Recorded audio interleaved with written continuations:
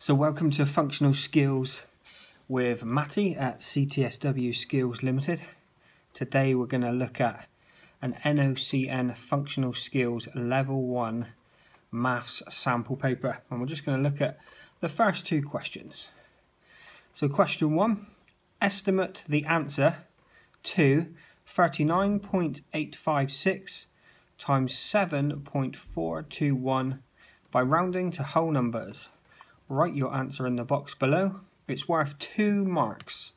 And we've got a space to write our answer. So first off, I'm just going to look at this first number. So it's 39.856. Now if I'm going to round that, so I'm going to look at this number here, the one decimal place.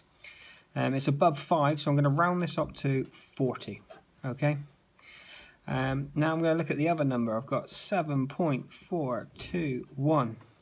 I'm going to look at the number after the decimal space there. It is a 4.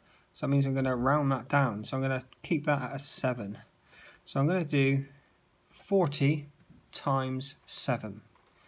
Now, this part of the paper we're not allowed to use a calculator. So it might be a bit hard just to do 40 times 7. So I'm just going to simplify it. I'm just going to figure out what 4 times 7 is first. So 4 times 7, um, well, I can do 7, 14, 21, 28. So I know it's going to be 28.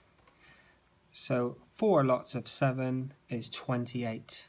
Now if I was to do 40 times 7, all I need to do is just add an extra 0 onto the answer. So I know that my estimate is going to be 280. So 40 times 7 is 280. So my estimate there is 280. Now this question is worth two marks.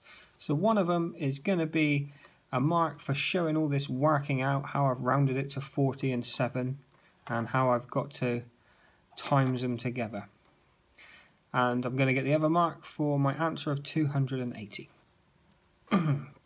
Now I'm going to go on to question two. It says find the mean of the numbers listed below.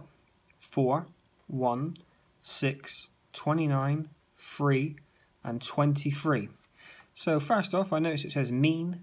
Mean means average. So I can reword the question, find the average of the numbers listed below. It might be a bit easier to work it out.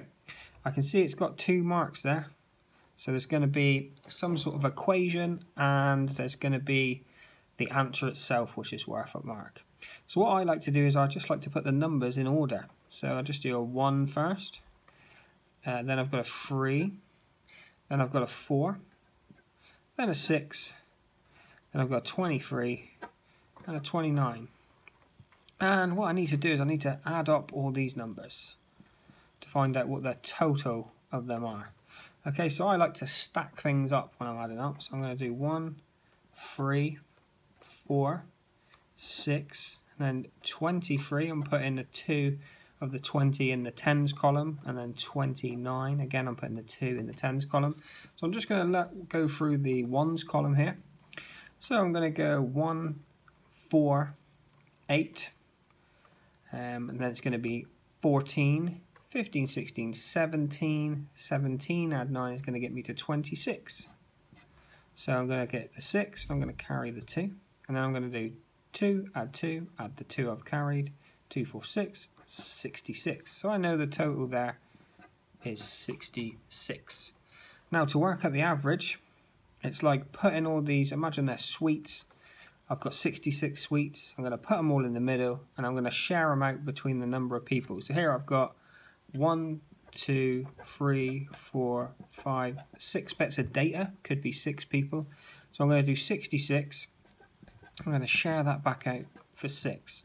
So how many 66s or how many sixes go into 66?